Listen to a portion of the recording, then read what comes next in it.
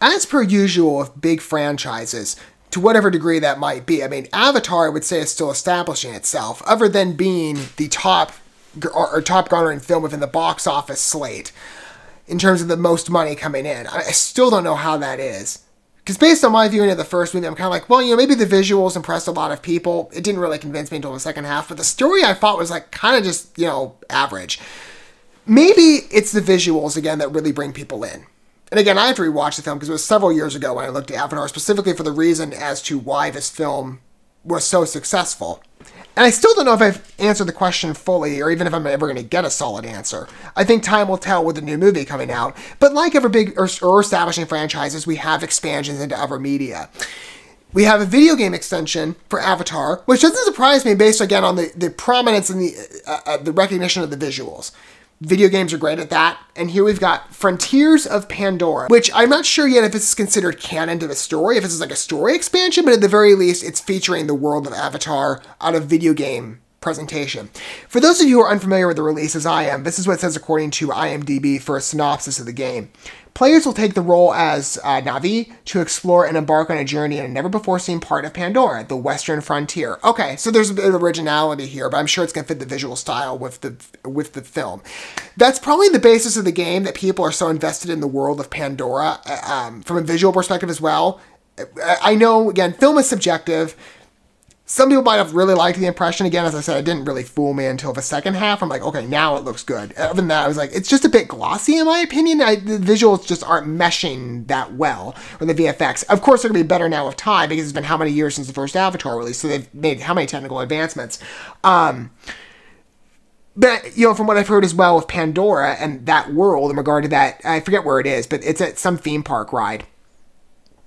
Maybe people are just really invested with being in this environment that now you've seen that being the main entrance as to why it's carrying over into the video game space. Who knows? Or again, it could be just a broad outreach for Avatar, sort of like a subtle advertisement that there's a new movie coming, and we now have video games to expand that vision, right? Other franchises have done this, Jurassic World, Fast and Furious, and many other, there's bigger ones as well that have done the same thing. It doesn't surprise me that Avatar is doing it too. Let's go ahead and take a look at the first look trailer. I've got two videos I'm going to look at for this. Um, I think they're going to be, well, um, no, we're going to look at them both here. Because I think in, in terms of getting a proper insight, yeah, we'll just go from one to the next. So this is the first look trailer. This, I'm sure, is just much more of a preliminary first glance. Uh, albeit like a three minute one. Here we go. So that's pretty substantial in length. It's bigger than most, or most ever average teasers for the video game uh, format.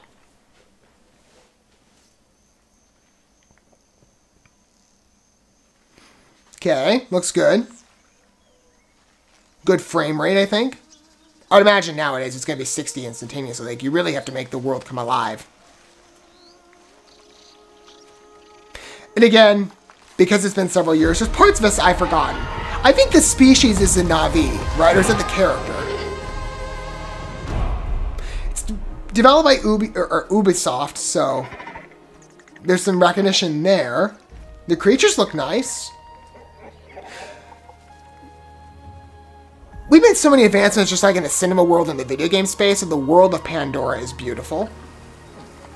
I'll state that. And it looks heavily inviting.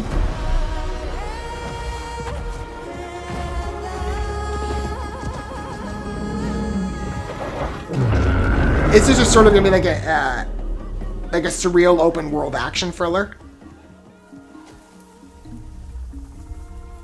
Maybe some people will just be like, hey, this is like a pleasure cruise through um, uh, imagined nature. I don't know.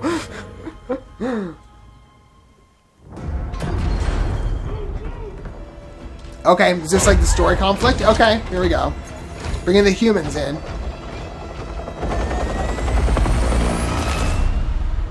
Again, there's details I've forgotten about. So forgive me. I stated with the uh, the Way of Water. I'm gonna go back and review the the film. Maybe not. well, I don't know if I'll review it. Maybe I'm thinking about bringing those back, but um, I'll go back and watch the film. So I'm sure things here will make much better sense upon a rewatch. It has been so much time.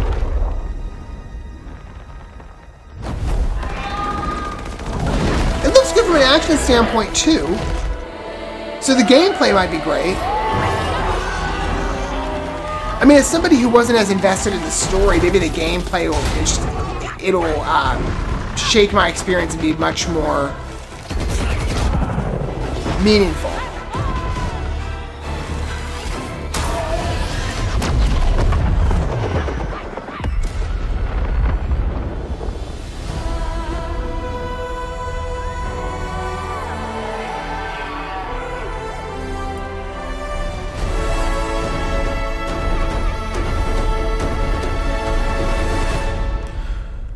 Okay, it's coming out for the new consoles, so not the older ones. They're going, you know, all out, I guess, to, to get all the technical upgrades that they can to really make the Pandora world manifest itself in such an opulent and beautiful way. I mean, that makes sense. It's coming out sometime this year. I would probably imagine they're going to do this to, in a way that it coordinates with the release date of the movie, the the new one, Avatar: or The Way of Water. I wouldn't be surprised about that.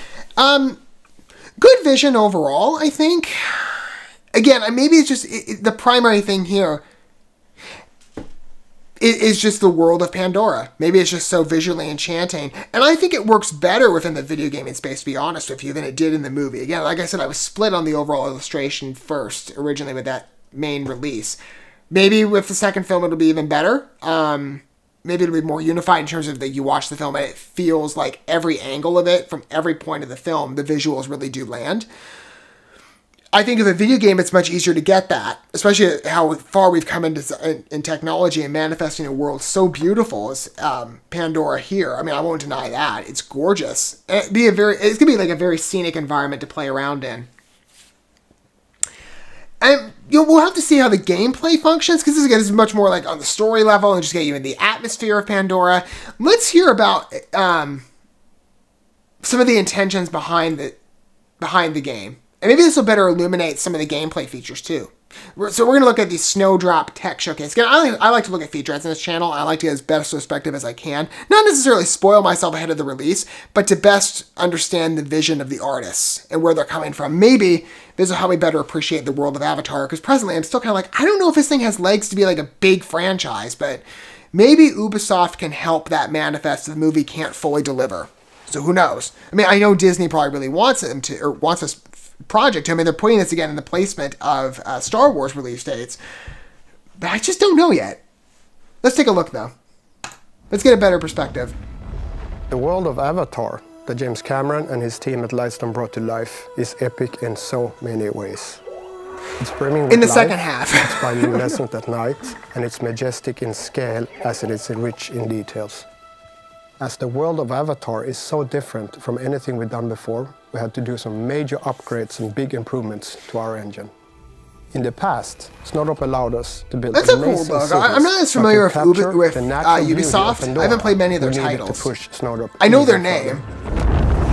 We have created the Pandora that you can experience from the deep, dense jungles on the ground to the grand vistas high up in the skies. So with Snowdrop, using the microdetail system, we can propagate thousands of assets in one frame. This allows us to have a lot more highly detailed environment for Pandora. For the game, we created a varied amount of vegetation using automated placement, and this is significantly more objects than we ever had before. So by it feels large. visibility testing to the GPU, we can now. It feels expansive. I mean, again, I think that's an asset. So the advantage of Snowdrop is that if this does anything, I think it's going to embolden perhaps interest in the more film. Life to the vegetation of Pandora. If not, exceed it. Maybe. Shaders that can be affected by the player. If the second film can't simulations and fully explore that vision, reacting to your presence. We don't just explore jungles on the ground, we also get to fly our bunch. So we added a new volumetric cloud system in Snowdrop to improve the visual quality of our sky. With ray tracing, we can now illuminate Pandora in a way we never could before. This way we can have real light reflect from the emission and the bioluminescence coming out from the plants. I mean, it looks Pandora great. more vibrant and more realistic. Real-time ray tracing allows us to greatly improve lighting in our game. Ray-traced global illumination and reflections make our game appear more naturally lit. if anything, this feature just points to again the technological advances we've made. I mean, I'm not I'm not an expert in terms of game design. The different activities that NPCs but I can definitely appreciate the, the work that's gone into making this world come make alive. the world feel really alive. So for Avatar, Frontiers of Pandora, we wanted to take this one step further and created a system where our NPCs understand the state of the world. For example, weather, player progression, or time of day. The teams at Ubisoft have done a fantastic job improving Snowdrop. In every project we do, we push the engine further. But Avatar Frontiers on Pandora is without a doubt the biggest leap we've made so far. And we believe it will provide our players with a truly immersive Avatar experience on the new generation of hardware. I think that's what people are going to be looking for, chiefly, including me. And I think the video game format might better deliver on that if the second film can't deliver. Because again, that's that first time I need to go back and rewatch it, but I don't know. um, I I just don't see it yet. Either way, I mean it's a 20th Century Pictures project. Used to be Fox, so I appreciate that at the very least. But I'm, I'm kind of like because I, I like to see that studio still you know get the, get the name affiliation it should be, and not just be like, oh, you know, Disney takeover completely. But I just don't know if a story yet warrants that level of attention that other franchises have had because again I think that first one was a bit rusty. Maybe on a second watch it'll be better. Maybe if I watch it on Blu I watched it on DVD first, so maybe the resolution just wasn't as good for me to appreciate the visuals because as I said the first half just didn't convince me.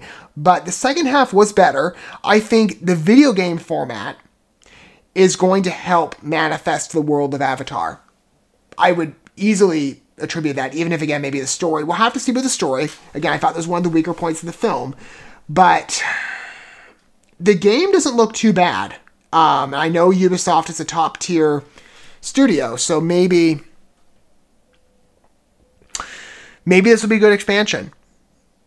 We'll have to see in the future, but at the very least, I think it's a good illustration from what we're seeing so far. What are your guys' thoughts of Avatar Frontiers of uh, Pandora? Maybe you're a little more familiar with the title than I am. Again, as I've stated, this is very much a first impression. And maybe if you have a better sense of Avatar as well as a property, and maybe why it got to the box office position number one overall, feel free to fill in details on that because I'm still puzzled about it. But um, the game itself, maybe this could better aid Avatar and be something unique. Because as I said, there's a lot of franchises expanded in the video gaming space. It's really becoming a big staple these days. Um, maybe this could really help because again, if the film, it, it, again, film is subjective, and maybe Avatar has really enticed some people. Maybe it hasn't. I think the world of Pandora overall is a beautiful illustration of a very picturesque uh, paradise. I think this game could help as a good supplement and maybe could even exceed the film. We'll have to see in time, but um, the world of Pandora is beautifully realized here, admittedly. So, if anything, it's the visuals, I think, in terms of the video game that'll bring me in. I thought the sequel uh, film looked good too. I'm just, again, basing my knowledge on that original movie. But I think it could be unique. I mean, I've never really seen a, a, franchise in terms of video game expansion prioritize manifesting its vision, especially so early. Usually, when the franchise has been established for long enough, like for example, Fast and Furious, Jurassic World, those have both expanded into the video gaming space, but Avatar is still bringing about its full realization apart from just one movie. Right? We're only, we're not even into the first installment of a four film sequel line yet. So, this is still like the precipice of emerging the franchise. We'll have to see what happens with Avatar overall. But I think the game paints to a promising future, at least on a video gaming perspective. The movie, we'll have to see in terms of uh, uh, how that materializes. But I think the game overall looks promising. Thank you so much for watching this video. Before you bounce, feel free to drop a like and comment, subscribe to this channel with a ding on the bell, and share this video with your friends. And consider checking out the description here. There you'll find links to my other channels, as well as addresses to my other social media accounts and ways you can help support my work if you feel so inclined. May God bless you, and looking forward to when our paths cross again.